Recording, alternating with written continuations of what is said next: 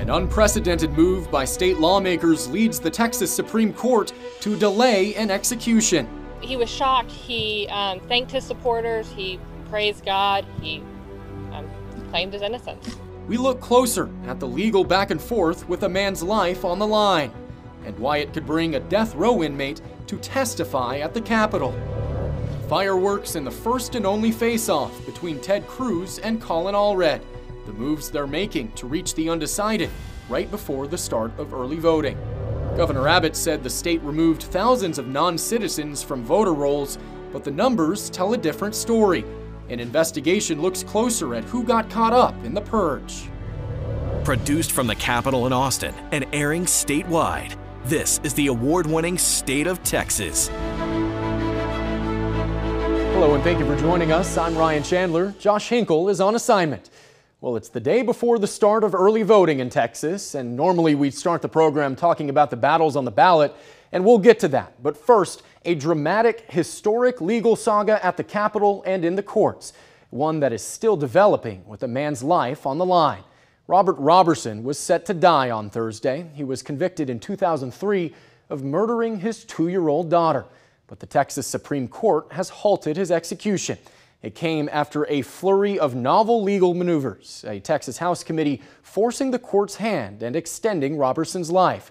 A bipartisan majority of lawmakers joining with medical experts to say Roberson is likely innocent.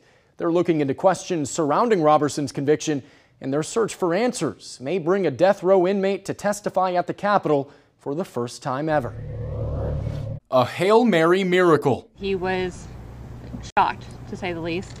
Um, he praised God and he thanked his supporters. A last hour Supreme Court ruling reviving Robert Roberson's chance at life. It is very clear that he needs um, a new trial. A team of lawmakers by his side as the clock ran out on what would have been his last day adamant in his innocence and demanding a new trial with new medical evidence. While he is still breathing, there is still time to bring the truth to light. After over 20 years in solitary confinement, Roberson will have the biggest stage in Texas, testifying in person at the Capitol on Monday. It was made clear to us that there was no precedent for what we were doing. I want him to be able to tell his story, what his life was like prior to this, what the investigation looked like from his, through his, the lens of you know, his lens. Lawmakers are investigating whether courts are properly following Texas's 2013 junk science law, which allows for new trials in cases where scientific evidence is later found faulty. Experts say the medical records for Roberson's two-year-old daughter Nikki indicate she could have died of natural causes, not homicide. When we have government exercise the greatest power that it has, the power to take a life, there must be absolutely unassailable proof and no doubt that a grave and heinous crime occurred, and that's simply not the case. Several Texas lawmakers met with Roberson in the days before his scheduled execution, and some were outside the prison on Thursday night when Roberson learned of his stay. One of those lawmakers is Austin State Representative John Bucy. Thank you so much for joining us. Thanks for having me. It's not lost on me the gravity of the fact that Roberson woke up on Friday morning and, and that is only because of some novel creative efforts by the legislature and, of course, the work of the team that has been working on his behalf for, for years. Uh, just take me through what it was like at the prison when we learned of this news of this day. You know, Representative Hull and I were there. We wanted to be there, having met with him and gotten to spend time a few weeks ago knowing him. We wanted him to know that we were there and that there was a team fighting for him on his behalf, no matter the outcome yesterday. Our intent was to be present for the execution if it had happened and make sure we were telling his story. Uh, throughout the evening being there, it was you know a roller coaster of emotions. We had hope. We knew so many people were fighting for him. We believe this is an innocent man and, and that this execution shouldn't happen. There were times throughout the night as it went back and forth that we were getting very concerned that the execution would move forward and that we would have to go be a witness to that and then go talk about it and what it meant for the state of Texas. It's so interesting to watch how this effort has coalesced because it's, it's brought together a very interesting group of lawmakers, some of the most conservative members of the House and more progressives like yourself. Um, what do you think the bipartisan nature of this says about um, the, the, effort? Look, I, I, think it shows that when the Texas House is on is coordinated and working together, we can get things done. Those a majority of us, over 80 of us, signed a letter asking for this to stop and to slow this down and look at this case more closely. When you look at the spectrum of who's behind it, there's a lot of us that have hardly worked together on issues before, but having looked at this case closely, we knew we could work together and we should work together on this cause because it was so worthy of fighting for justice in this case. A bipartisan majority of the House has signed on uh, believing that he is possibly innocent, working uh, to delay his execution. But there are some voices of this conversation that I think it's interesting are, are so far absent. Yeah.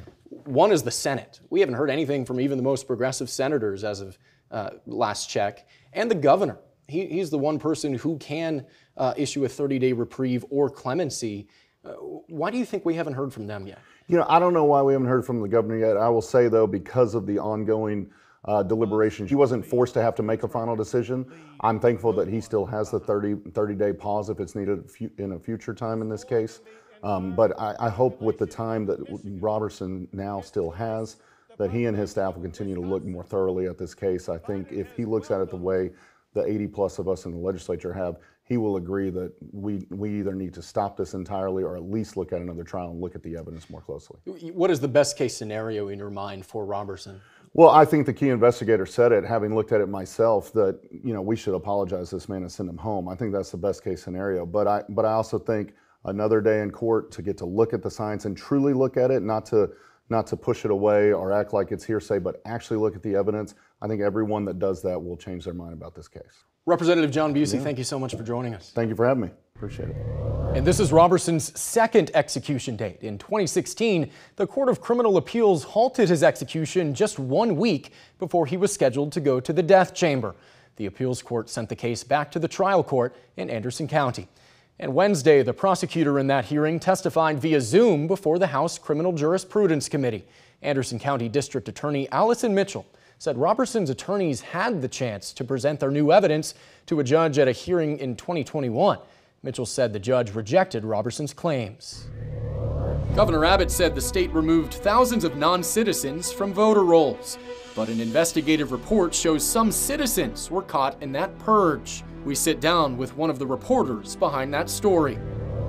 The first and only face off between the two men who want to represent you in the U.S. Senate. Why did you not support that, Senator? It's a great question. Can I take his time and no, answer? No, no, you can't have my time. But, but what I'm saying, no, but, you, you, you can jump in after me. How the debate is helping candidates reach the undecided right before the start of early voting.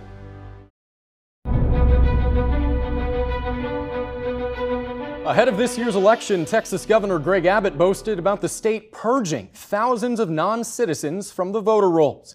But an investigative report from ProPublica, the Texas Tribune, and VoteBeat found some American citizens got swept into that purge. James Barragán from the Texas Tribune is here to break down this reporting. Thank you so much for being with us, James. Thanks. It's good to be with you. So, your reporting found uh, that uh, of the approximately 6,500 non citizens that the governor reported, um, there were some American citizens, and that number of non citizens was, was pretty inflated. Can you take us through how you arrived at uh, the number you did?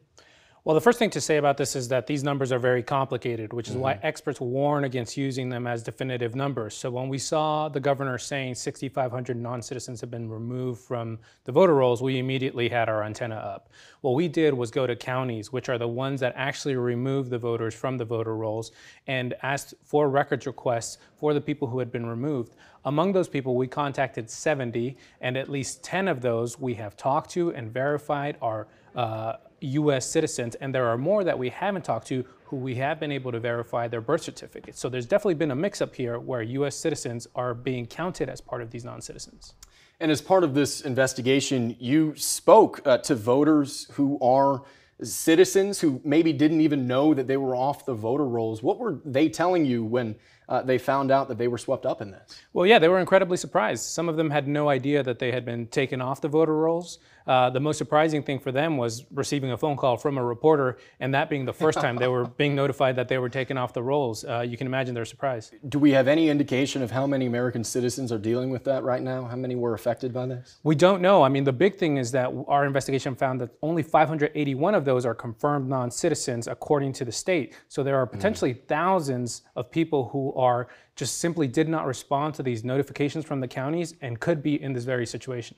500 something to 6,500 is a lot a different, right? Um, well, have you spoken to the governor's office about this or the Secretary of State? I'm, I'm, sure that they were concerned to learn this. Yes, in our due diligence, we've reached out to every state official involved in this the Attorney General's office, the governor's office, and the Secretary of State. The only one that has really responded to us is the Secretary of State, and they have cooperated with our investigation to try to give us the information we need to do this. Mm. And we continue to work with them as we continue to work on follow up stories. Governor's quick to advertise when he's found uh, purported non citizens, but when you may found a mistake, he hasn't responded to that. It's a little bit troubling, yeah, because the claim is is big, and what our story was saying is that it creates this um, situation of distrust in our elections, which is a terrible thing to have two weeks out from an election. Yeah. Um, and so I think it is incumbent on the governor's office to come out and potentially clarify some of this information, which we have uh, proven and the Secretary of State has confirmed uh, is incorrect. Yeah. It's really good work that y'all are doing. Thank you for it, and thank you for joining us to walk us through it. Thank you so much. Pleasure to be with you.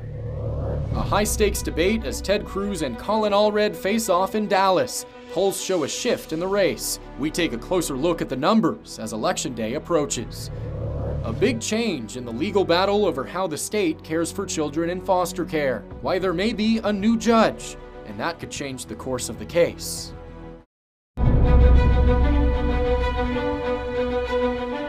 Candidates in the race for Senate squared off Tuesday night in a contentious debate. Colin Allred and Ted Cruz met face to face for the first time at WFAA in Dallas. The debate came at a critical time, just days before the start of early voting. Both candidates looking to shore up support. New polling from the Texas Politics Project at the University of Texas shows Cruz now holds a seven point lead over Allred. That's just outside the poll's margin of error. Libertarian Ted Brown polled at 4%. The historic stakes of this election had both candidates going on offense, hoping to win over voters.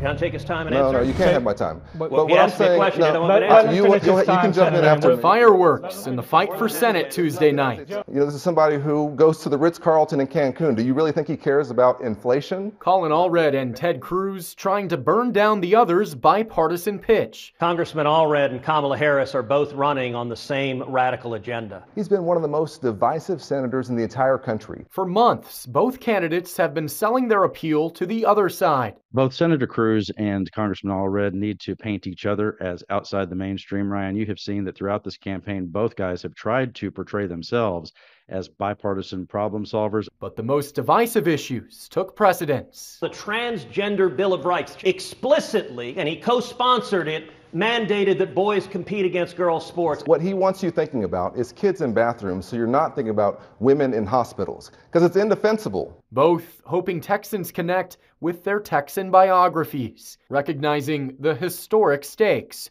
of this election. Want to go a little deeper into the debate and the race for Senate. Joining us now for insight is John Moritz, the chief politics reporter for the Austin American Statesman and James Henson, Executive Director of the Texas Politics Project at UT Austin. Welcome to you both. Thanks for being here. Glad to be. Uh, John, I want to start with you. This was a big chance for both candidates to make their impressions on undecided voters, both of them.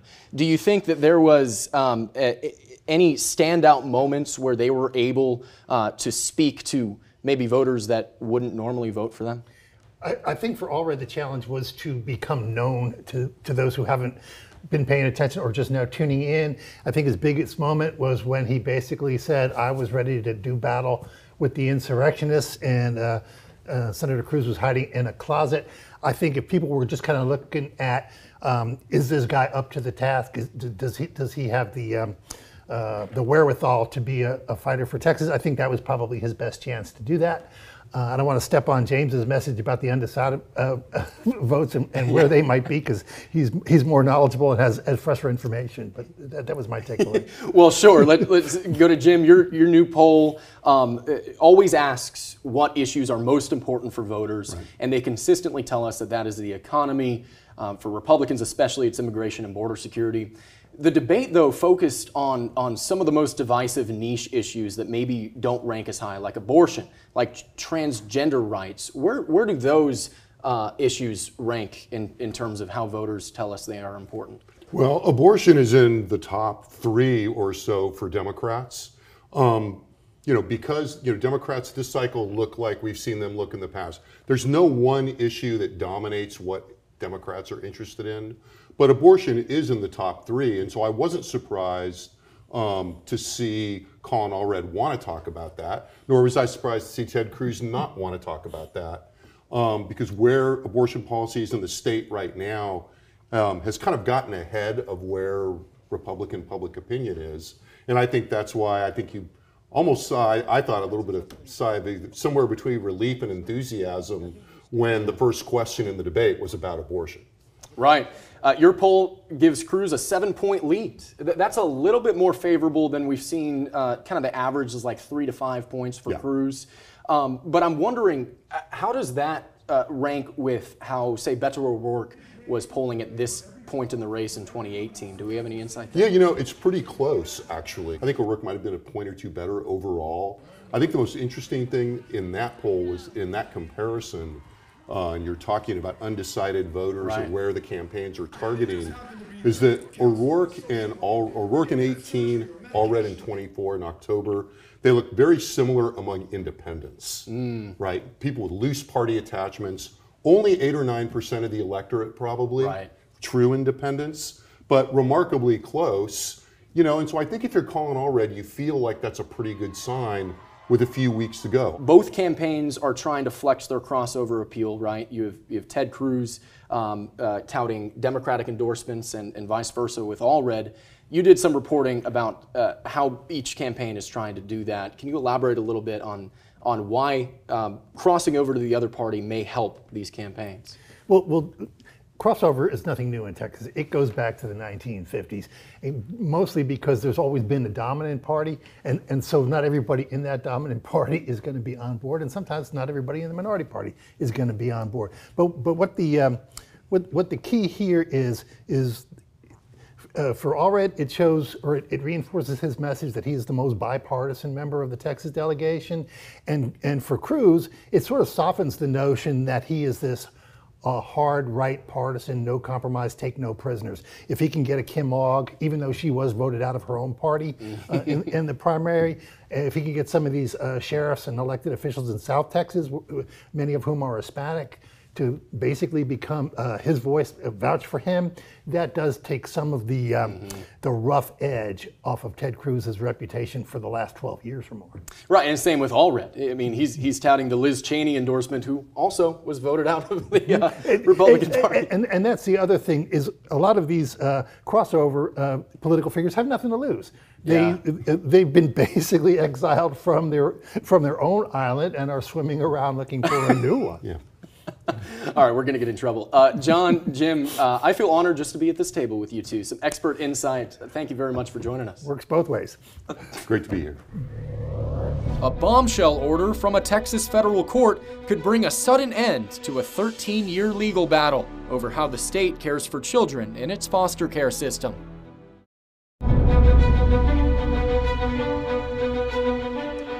The Fifth Circuit Court of Appeals issued a striking order in the long-standing fight over foster care in Texas. It removes the federal judge who has overseen the case for more than a decade. Investigator Avery Travis has been following this case for years. Avery, thank you for being here. Take us through the impacts of this huge decision. Well, Judge Janis Jack has overseen this case since it was filed, and that was in 2011. She's known for demanding change from the state agencies who are tasked with caring for kids who are in the system.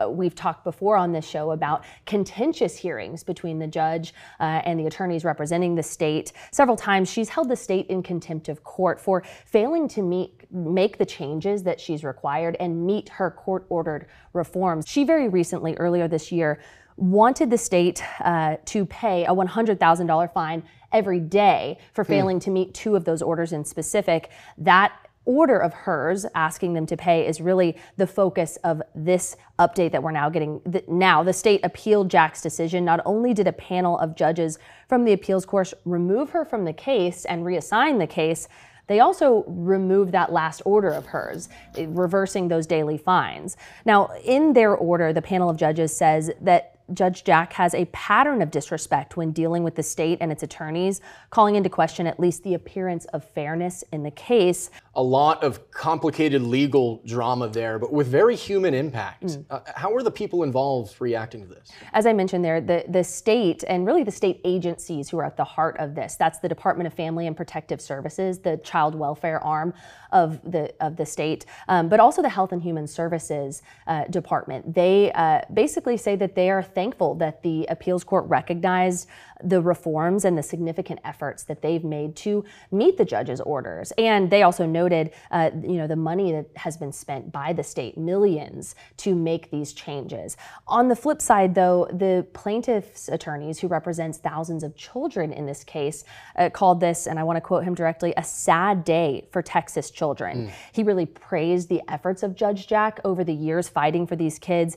He said, quote, she deserves a medal for all that she has done. And wow. he says they're going to continue fighting this decision to reassign the case. Where does it go from here? I mean, what are the next steps? It's an important question. So, really, this decision came from a panel of three judges of the Court of Appeals. And so, that plaintiff's attorney we mentioned, Paul Yetter, he says they're going to appeal this and they really want a hearing in front of the full Fifth Circuit Court of Appeals. They do have a deadline that's coming up in just about a week to file that appeal, and they tell us that they are planning to do so. Wow.